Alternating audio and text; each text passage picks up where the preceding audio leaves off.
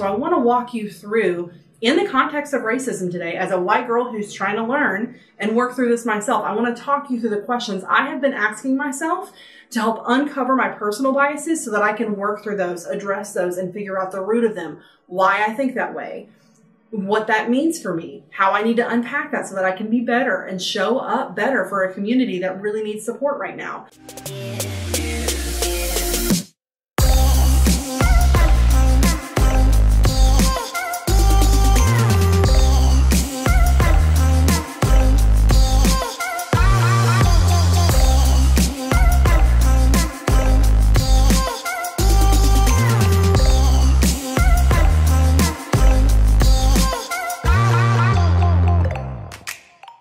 Welcome back to Up and Running and Thriving, your weekly spot for inspiration and motivation to help you get your mind, body, and business up and running and thriving.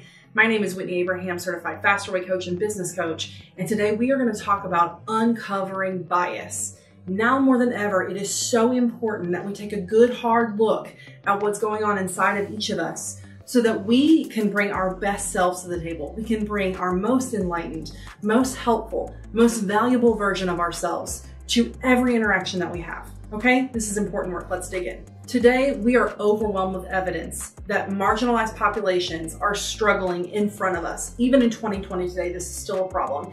And I want you to start taking a look at the ways in which you've inadvertently contributed to that if you are a person of advantage, a person of privilege.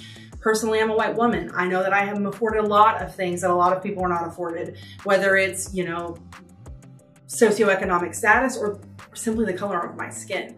But the point is, if we're not in tune to the internalized thoughts that present themselves in our minds over and over again, we might be able to sit here and say, I'm not a racist. I, you know, I don't see any different between you and me. I, you know, I don't see your color. We don't understand that that's a dangerous statement. If we had been marginalized for 400 years and then we were told that all of that was erased and that a population didn't see that, and how that contributed to our value and our meaning and our work, that would be discrediting to someone, right? So when we say, I don't see color, you know, we think we're being kind, we think we're being inclusive.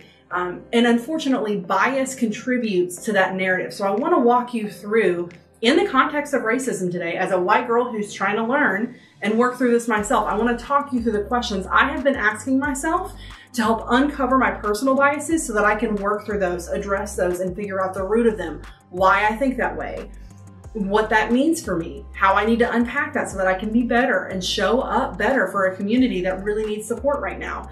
So I hope that you'll understand my heart in these questions, and I hope that you'll ask yourself these questions too.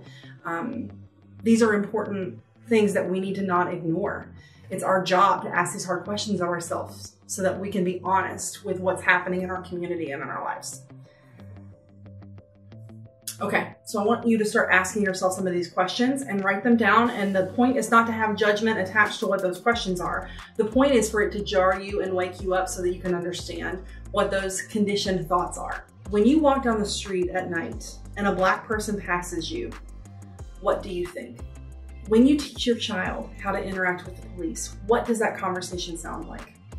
How might a black mother's conversation differ? Have we ever given pause to think about how a black person's conversation has to sound different? What are the five things that you associate with black culture? This is eye opening, you guys. And again, it's not meant to make you feel bad, but it's meant to make you feel bad. you need to ask yourself these questions so that you can uncover where your mind naturally goes when it thinks of someone that's different than you. How would you feel if those five things were associated with you? What would that make you feel like? Again, my point here is not to place judgment. My point here is to open your own eyes to the way that your brain is working without you even knowing it. What was your first reaction to the protest? This is a really good one, uh, and I've worked with this myself. Uh, I think you really have to ask yourself, how did I feel whenever I saw so many people protesting? Did I want to go protest? Did I not want to go protest? What did I think about whenever people were breaking windows? What did I think about whenever people were being tear gassed? These are important questions to get your temperature on what's going on inside of you. The follow up question to this, which I think is so freaking impactful, is what would have to happen in your life to you, to your family, to your community to get you to a protest? Would it be 400 years of oppression and systemic Marginalization? Maybe. I don't know. What are the last five things that you thought about in conjunction with Black people? You guys, it is so important that you ask yourself these questions. These answers give us cues to the work that we need to do introspectively, to our own personal work that needs to be done in order to get to a place where this is no longer a relevant conversation. We are so far from that point right now.